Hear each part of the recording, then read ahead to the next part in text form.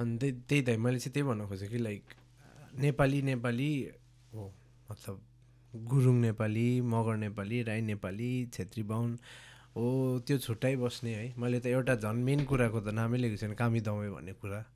त्यो है हजुर यो यो कुरा मलाई चाहिँ लाग्छ त्यो मर्गेन फ्रिमेन भन्ने छ नि अँ, चिन्नुभयो? चिने उसलाई हजुर हलि हलिउडको। हजुर। उसलाई सोधेको थियो क्या कि लाइक ब्ल्याक हिस्ट्री त्यहाँदेखि कुनै के हुन्छ नि गे हिस्ट्री कुनै के गे प्राइड हो त्यसको कुराहरू गर्दाखेरि उसले कुरा गरे क्या ब्ल्याक हिस्ट्री क्या अन्त किन चाहिँ ब्ल्याक हिस्ट्री छ क्या ब्ल्याक हिस्ट्री किन छ? वाइट हिस्ट्री चाहिँ छैन भनेर सोधे क्या उसले। त्यहाँदेखि. एकदमै कस्तो झसङ्गै भयो क्या म। अन्त उसले भने कि किन चाहिँ कुरा गरेको तैँले यसको बारेमा क्या अब रेसिजम त्यो अहिले तेरो यो अहिलेको ट्वेन्टी फर्स्ट सेन्चुरीमा तैँले रेसिजमको कुरा सुन्छस् भनेर भन्दाखेरि त्यस्तो सुन्दैन। अहिले रेसिस्ट छैन त्यस्तो मान्छेहरू। छन्। कतिजना ठाउँ ठाउँमा छ होला रेसिस्ट तर त्यो जतिको थियो पहिलाको जमानामा अहिले छैन नि त। सो उहाँले एउटा कस्तो स्ट्रङ पोइन्ट भन्नुभएको थियो कि जबसम्म हामी यसको कुरा गरिबस्छौँ कामी दमै लो कास्ट त्यो पानी छुनु हुने नछुने कल्चरल हो बुझेँ। तर कल्चर पनि अब कुन चाहिँ कल्चरले चाहिँ हुन्छ नि हाम्रो सिभिलाइजेसनलाई बेटर गर्छ हो त्यो कल्चर पो क्यारी अन गर्ने हो त। रीतिरिवाज जुन चाहिँ. चाहिँ हाम्रो सोसाइटीलाई ब्रेक गर्दैछ जुन चाहिँले चाहिँ हाम्रो अब के भन्नु एट दि एन्ड पोलिटिसियन्सलाई जसले चाहिँ सजिलो पर्दैछ पोलिटिसियन्सलाई छुट्याउनु मान्छेहरू किनकि अँ। कन्ट्रोल गर्नु सजिलो पऱ्यो नि त। त्यो कुरा सबैलाई थाहा छ क्या तर पनि हामी इमोसनल भएर डुबी पठाउँछौँ। हामीले बिर्सी पठाउँछौँ कि लाइक एउटा होल सबैजना म्याटर गर्छ क्या लास्टमा यो सिस्टममा चाहिँ। हामी एक ठाउँ मात्रै हेर्छ आफ्नो घर मात्रै सफा गर्नु खोज्छ। तर हामीले यो रियलाइज गर्दैन कि त्यो घर पुग्न लागि चाहिँ हामी डल्लै नेबरहुड क्रस गर्नु पऱ्यो अब नेबरहुड खत्तम छ गनाइरहेको छ। भने तिम्रो घर जति सफा राख त्यो घर पस्ने बाटोसम्म त त्यो नेगेटिभ भाइ भइहाल्छ नि त। सो त्यो. मलाई चाहिँ लाग्छ कि लाइक हुन्छ नि समाज चाहिँ अलिकति बद्लिनु पर्नेछ र बद्लिन्छौँ नि दाइ किनभने अब हाम्रो नयाँ जेनेरेसन हो।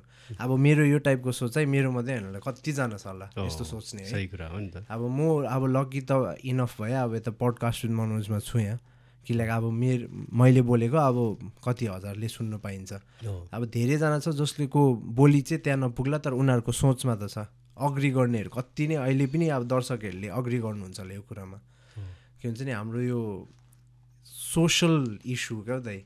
एक्ज्याक्टली हो नि रेहानको यो सोच चाहिँ एकदमै मन पऱ्यो जस्तै अब अघि एउटा कुरा अ, भनिहाल्नु भयो तपाईँले होइन जस्तै आफ्नो घर सफा गर्छ तर टोल गनाएको थाहा हुँदैन। जस्तै सेम एज लाइक आफ्नो घरको छिमेकी। छिमेकीको घर सफा भयो भने आफ्नो घर पनि सफा देखिने हो नि त। ट्रु होइन? त्यो एउटै पार्ट हो नि त। एक्ज्याक्टली होइन? अब हामी चाहिँ। के देख्छौँ भने अहिलेको चल्दै गरेको चाहिँ उसमा ट्रेन्डमा चाहिँ के छ भने आफ्नो घर चाहिँ सफा गर्ने अर्काको घर चाहिँ मैला देखोस्। हजुर। देख्ने हाम्रो चाहिँ बानी भयो क्या। यो चाहिँ. हामीले कम्प्लेन त्यहाँदेखि चाहिँ फेरि कम्प्लेन कि लाइक यसको घर त छ्या त्यस्तो कुनै के? मलाई हो यो कुरासँग चाहिँ बहुत प्रब्लम छ दाइ। म अब यस्तोमा यस्तो पऱ्यो कि अब म जन्म भुटानमा भयो। अब भुटानमा माइनोरिटी नेपाली र अब म भुटनिज हो पनि भन्नु सकिनँ मैले। भुटनिज सिटिजन हो। भोटे होइन म नेपाली पढेँ त्यो पनि छेत्री बाहुन हो। दार्जिलिङ कालिम्पोङ पढेँ। ए भुटानको केटा हो भन्ने पऱ्यो। त्यहाँ नेपाल आएँ। ए नेपाली त हो तर भुटानको हो भन्ने छ। सो म एक्ज्याक्टली अब नेपाली पाराले चाहिँ हुर्किनँ नि त।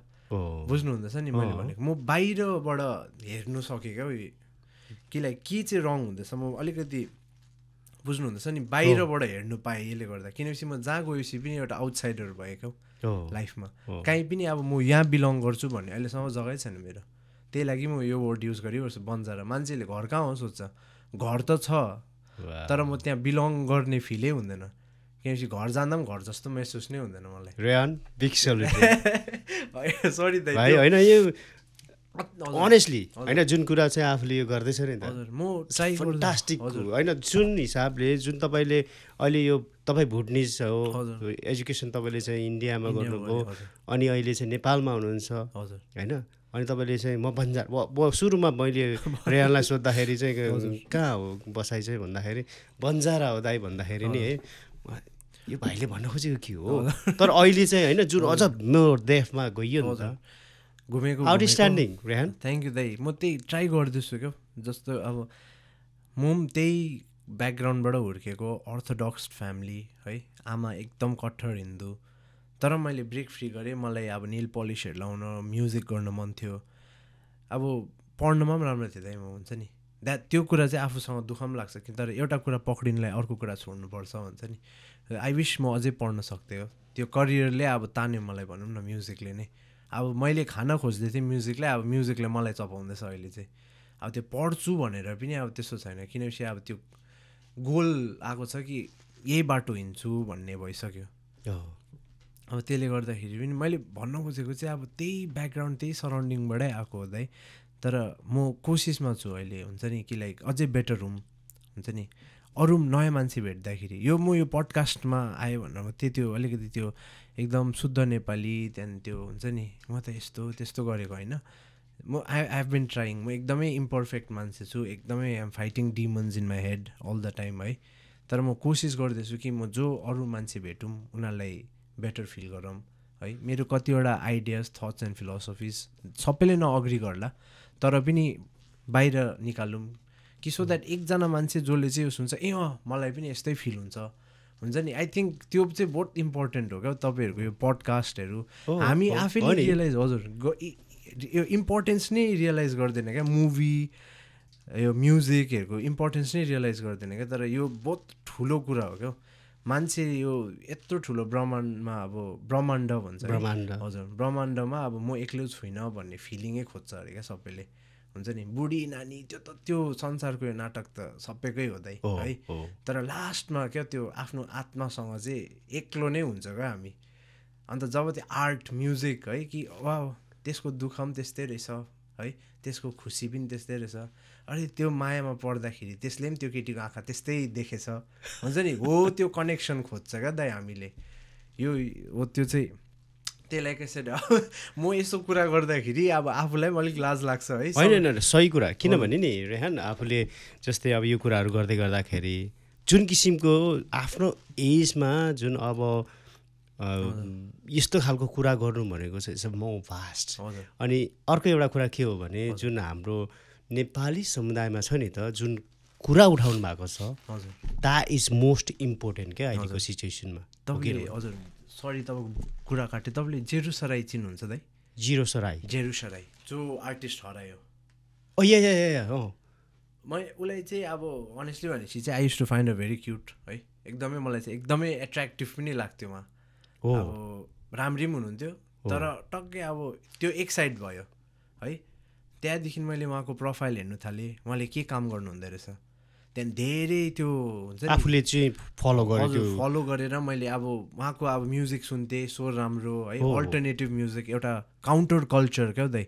अब हाम्रो काउन्टर कल्चर भनेको तपाईँको मेन स्ट्रिम छ फिल्मको गाना छ है? अन अनमोल केसीको मुभिजको गानाहरू अहिले फर्की फर्की आयो है? दामी लाग्यो त्यो चाहिँ। फर्की फर्की दामी थियो त्यो।